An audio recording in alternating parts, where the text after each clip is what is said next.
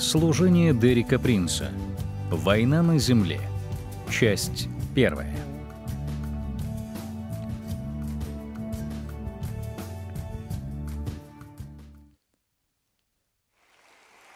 Большое спасибо. Пусть Бог благословит вас. Вчера, если я правильно помню, и память меня не подводит, мы говорили о духовной войне на небесах. Сегодня мы пойдем дальше и поговорим о духовной войне на земле. В основном на земле мы воюем с демонами или злыми духами. Именно об этом мы поговорим сегодня, а начну я с короткого свидетельства.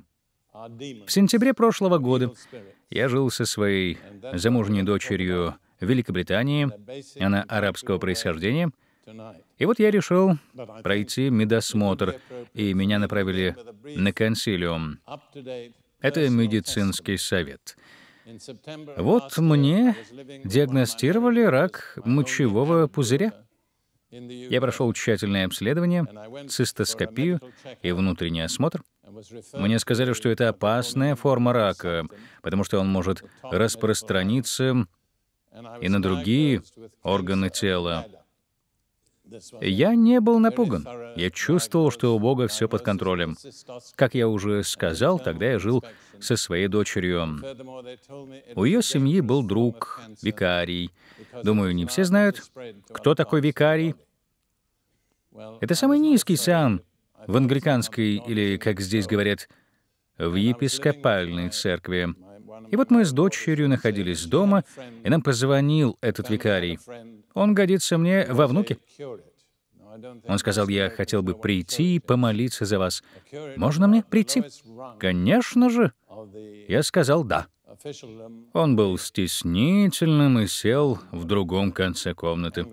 Со временем я сказал ему, «Поймите, я не ожидаю, что после вашей молитвы я непременно буду мгновенно исцелен от рака, но все равно молитесь за меня. Он пришел. Я сидел в кресле, он встал рядом со мной, положил руку мне на плечо и начал молиться. Мне казалось, что у меня в груди дерутся кошки. Я никогда не ощущал такого сильного конфликта внутри. Я издал громкий и продолжительный рев. Это был не просто крик, а рев. В тот момент я понял, что я был освобожден от демона рака. Прошло уже полгода, и, насколько я знаю, в моем теле нет никаких признаков рака. Поэтому я хочу сказать, что свобода от демонов окупается. Не стыдитесь этого, не бойтесь, просто примите то, что Бог имеет для вас.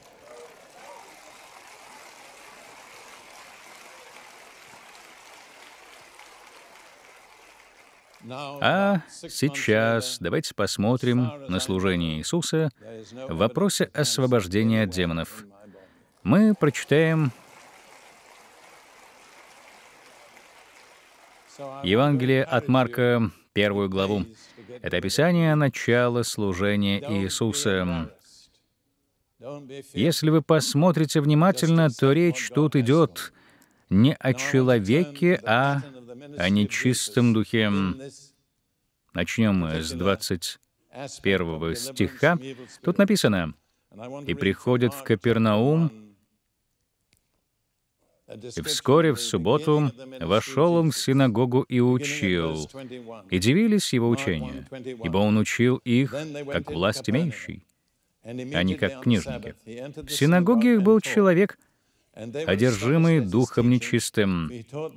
Могу предположить, что этот человек много лет посещал синагогу как хороший, религиозный человек. Ну а далее сказано, он вскричал и сказал, «Оставь, что тебе до нас, Иисус Назарянин? Ты пришел погубить нас». Знаю тебя, кто ты, святый Божий. Демон в человеке сразу узнал Иисуса. Ученикам понадобилось 12 месяцев, чтобы понять то, что было известно демону. То есть это существа со сверхъестественным знанием. Но Иисус запретил ему, говоря, «Замолчи». В оригинале сказано «надень намордник и выйди из него». Иисус обращался не к человеку, а к демону в человеке. Важно, чтобы вы это понимали.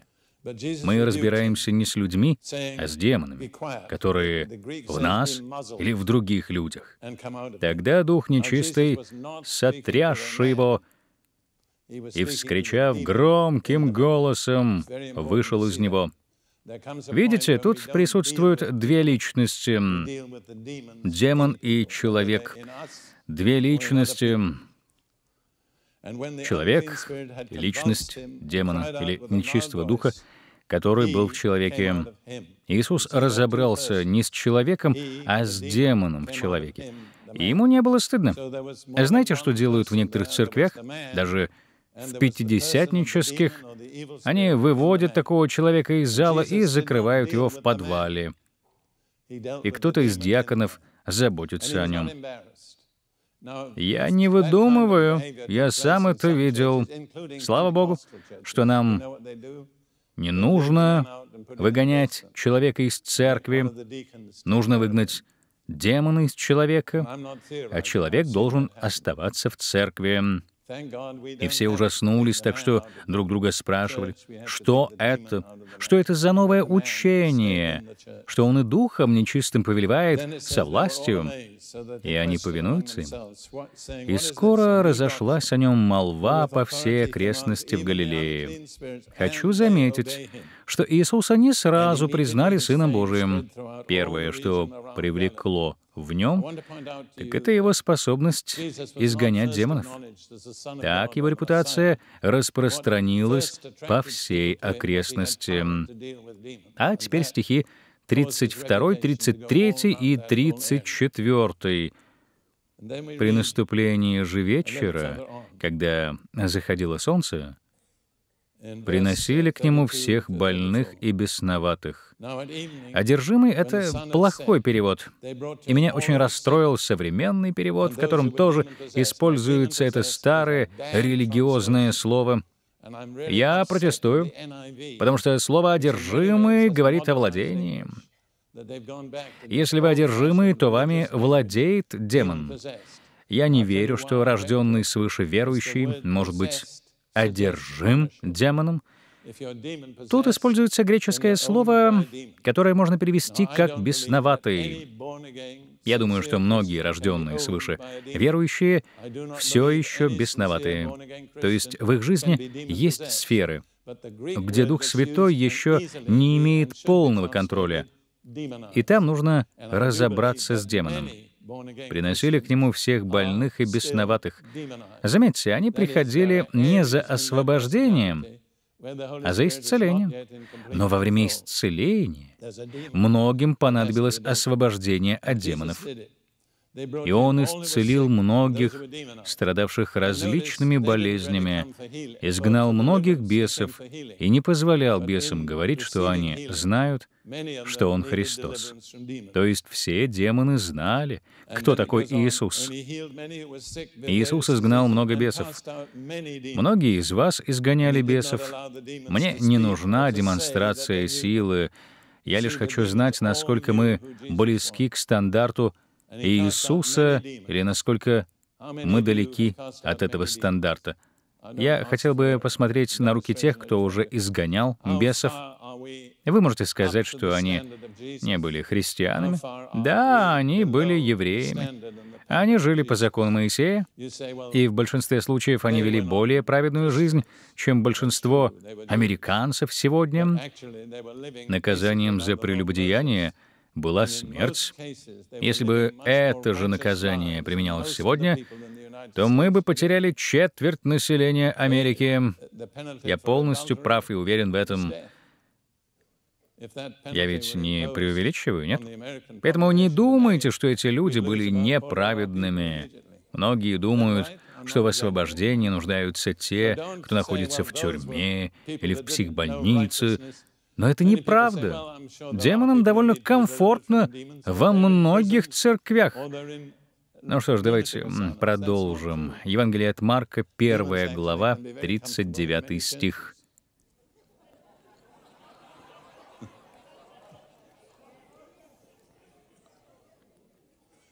И он проповедовал в синагогах их по всей Галилее и изгонял бесов.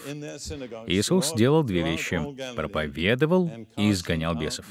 Он не только проповедовал, но и разбирался с проблемами людей. Когда Бог привел меня в это служение, первые два-три года я делал именно это по всей Америке. Я проповедовал и изгонял демонов. Мне не было стыдно, потому что я не могу превзойти Иисуса. Я могу делать лишь то, что делал Он. Итак, это важная часть христианского служения и постоянная составляющая служения Иисуса. Это не что-то удивительное или странное. Это именно то, что делал наш Господь Иисус Христос. А далее мы откроем с вами Евангелие от Луки, 13 главу, и посмотрим 31 и 32 стихи. «В тот день пришли некоторые из фарисеев и говорили ему, «Выйди и удались отсюда, ибо Ирод хочет убить себя». И сказал им, «Пойдите, скажите этой лисице, то есть Ироду». Видите, Иисус не стеснялся в выражениях. «Скажите этой лисице, вот изгоняю бесов и совершаю исцеление» сегодня и завтра, и в третий день кончу». Иными словами, Иисус сказал, «Все свое служение я буду делать две вещи — исцелять больных и изгонять бесов». С этого он начал, это он продолжал, и этим он и закончил. Это модель земного служения Иисусом. Я не собираюсь ее улучшать. Если я сделаю хотя бы малую часть того, что сделал Он, я буду удовлетворен. Это служение освобождения от демонов играет очень важную роль. Если вы прочтете Ветхий Завет, то заметите, что все чудеса, совершенные в Новом Завете, совершали и Ветхом. Исцеление больных, воскрешение из мертвых, но демонов никогда не изгоняли. Вы не найдете таких примеров в Ветхом Завете. А далее Евангелие от Матфея, 12 глава, 28 стих. Иисус сказал, «Если же я Духом Божиим изгоняю бесов, то, конечно, достигло до вас Царство Божие». То есть то, что Он изгонял демонов, было признаком того, что Царство Божие пришло. Такое чудо не совершалось в Ветхом Завете. Оно является четким провозглашением того, что Царство Божие пришло. Изгнание демонов — это война между двумя царствами — Царством Божиим и Царством Сатаны. Иисус демонстрировал победу Царства Божьего через изгнание демонов. Давайте прочтем инструкцию Иисуса к ученикам, Опять же, Евангелие от Матфея, 10 глава, 7 и 8 стихи. Я не буду рассказывать предысторию, на это нет времени. «Ходя же проповедуйте, что приблизилось Царство Небесное. Больных исцеляйте, прокаженных очищайте, мертвых воскрешайте, бесов изгоняйте». Даром получили, даром и давайте. То есть, по словам Иисуса, мы должны делать четыре вещи. Исцелять больных, очищать прокаженных, воскрешать мертвых и изгонять бесов. Вот в чем заключалось служение учеников. Вы спросите, а вы видели воскрешение мертвых? Да, видел.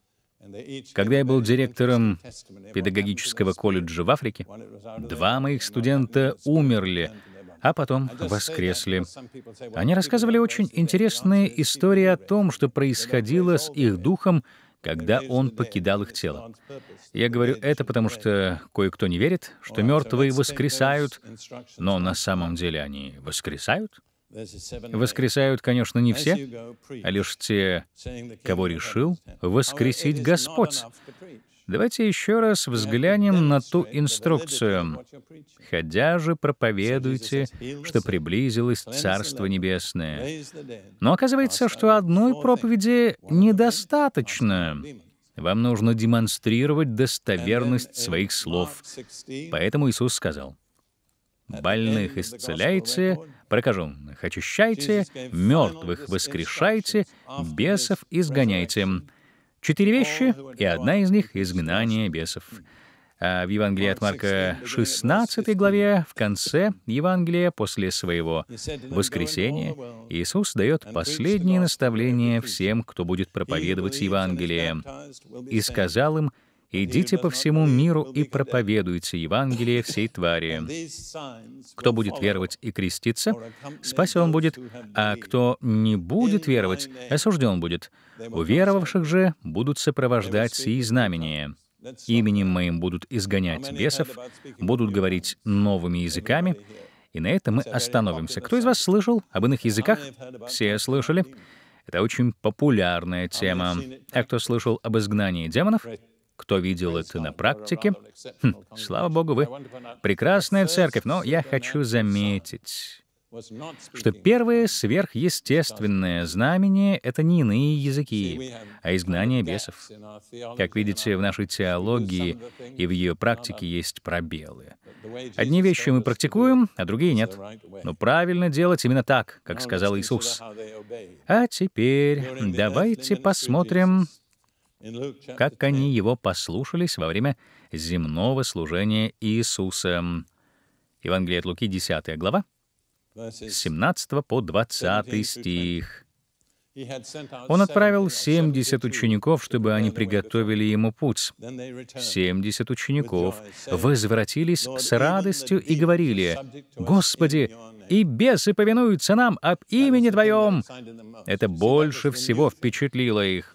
Это было чем-то новым. Исцеление и чудесное обеспечение не были новинкой, а вот власть над демонами привела их в восторг. Иисус сказал, «Вот даю вам власть наступать на змеи скорпионов и на всю силу вражью, и ничто не повредит вам». Я хочу сделать на этом акцент, потому что позже мы приступим к делу. Ничто не повредит вам, поэтому не бойтесь. Демон не имеет никакой власти над истинно верующим, который понимает свои права. Один из самых интересных примеров находится в книге Деяний. Кто из вас знает, что только один человек в Новом Завете назван евангелистом? Вы об этом знали? А знаете, кто он? Филипп. Он единственный человек, названный евангелистом. Его служение описано в Деяниях, 8 главе. То есть можно сказать, что его служение это модель служения евангелиста. И вот что говорится об этом в Деяниях 8 главе, 5 стихе. Так Филипп пришел в город Самарийский и проповедовал им Христа. Я рад, что у него не было сложной теологии. Он проповедовал Христа. Послание евангелиста очень простое. В Самарии он проповедовал Христа, а когда встретил Евнуха, проповедовал ему Иисуса. Это и есть послание евангелиста. Народ единодушно внимал тому, что говорил Филипп, слыша и видя, какие он творил чудеса. У Филиппа не было комитета или спонсора, у него не было помещения и подготовленного хора. Все эти вещи хороши, но они не самые важные. Самое важное — это проповедь Евангелия, которая сопровождается знаками. Тогда вокруг вас всегда будет толпа. Не нужно тратиться на дорогое помещение или на хор. Знаете, у меня в Африке есть друг. Он евангелист. Он говорит, что в Африке не проблема собрать толпу. Он говорит так. Я прихожу в поселок и спрашиваю, сколько там больных. Их приносят, я молюсь, они исцеляются, и вокруг меня собирается толпа. Больше ничего делать не нужно. Это и есть новозаветный евангелизм.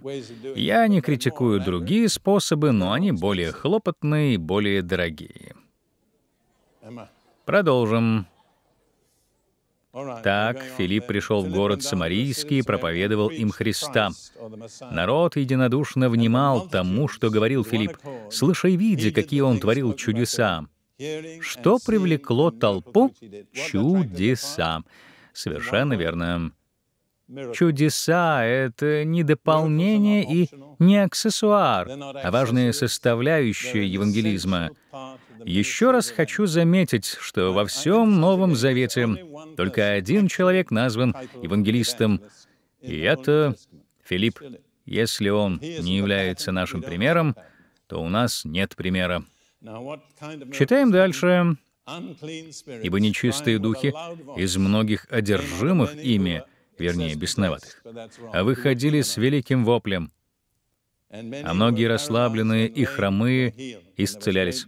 И была радость великая в том городе. Это и есть служение евангелиста. Он должен проповедовать Христа Мессию. И это послание сопровождается сверхъестественными знамениями, исцелениями и изгнанием бесов. Тогда вокруг вас будет толпа. Вы также можете столкнуться с сопротивлением, но все это идет в одном наборе, так сказать. И обратите внимание, что на своих собраниях они не поддерживали атмосферу абсолютного достоинства. Я вырос в англиканской церкви. В ней нужно было ходить на цыпочках, нужно было сидеть тихо, не повышать голос, все было тихо и размеренно. Люди, одетые в праздничные наряды, произносили красивые слова. В англиканской Библии одни из самых красивых духовных слов. В детстве я наблюдал за этими людьми. Когда они выходили из церкви, я спрашивал себя, а они действительно верят в то, что они говорят? Я не мог ответить на этот вопрос. Помню, я думал, если бы эта возвышенная дама уронила свою кружевную перчатку, а я подбежал и подобрал бы ее, по перчатке она радовалась бы больше, чем всему, что она сказала во время литургии. Достоинство, достоинство рознь. Часто религиозное достоинство является прикрытием для деятельности демонов. Однажды я был на служении известного американского евангелиста. Вы все знаете ее имя. Какое-то время она была моим хорошим другом. На одном из ее служений одна женщина начала демонстрировать демоническую активность. Знаете, что они сделали? Два человека взяли ее под руки и вывели из зала. Вот и все. Это трагедия. Она отчаянно нуждалась в служении евангелиста, но евангелист переживала, что это испортит ее репутацию, и люди не будут приходить на ее собрания. Думаю, она ошибалась. Я ее уважаю. Она уже ушла к Господу, но в моей памяти навсегда осталась та отчаявшаяся женщина, взывающая помощи, которую просто выкинули из зала. Когда я однажды выгнал демона из одной женщины в церкви, то после ко мне подошла одна из прихожанок и сказала, «Знаете, что бы сделали в другой церкви? В подобном случае там бы сказали, «Наша сестра нуждается в помощи», и отвели бы ее вниз, в подвал. Но это не библейский подход. Ей нужна помощь, но не подвал. А сейчас я хочу дать вам краткое описание демонов, как я его вижу. Мое понимание ограничено, поэтому я сделаю все возможное. Первое, что следует сказать, они — существа без тел. Демоны — это личности, и они отличаются друг от друга. Демоны не похожи друг на друга. Помню один случай. Я молился за одного мужчину. Его жена пришла ко мне и сказала, «Моему мужу нужно освобождение».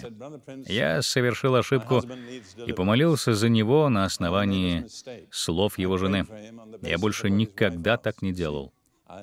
Если ему нужно освобождение, то он сам должен сказать мне об этом. Когда я начал за него молиться, он пришел в бешенство. Она отвела меня в сторону и сказала, «А дома он бросается стульями». «Почему вы не сказали этого до того, как мы начали?» Демоны начали говорить через того человека, и один из них сказал, «Я нечистый». Я подумал, что не хочу позорить этого мужчину на глазах у жены. Мне в голову приходили разные виды нечистоты. Я сказал, «Дух нечистых мыслей, выходи из него». А он ответил, «Это не мое имя. Все равно выходи. И это тоже не мое имя». Мы не всегда осознаем, что демон — это личность. Он желает, чтобы его называли его именем. В конце концов, он вышел